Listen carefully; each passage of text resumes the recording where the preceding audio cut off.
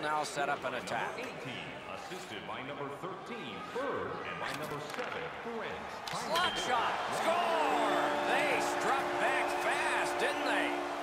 The Maple Leafs have struck for another goal. They've built a two-goal lead here early.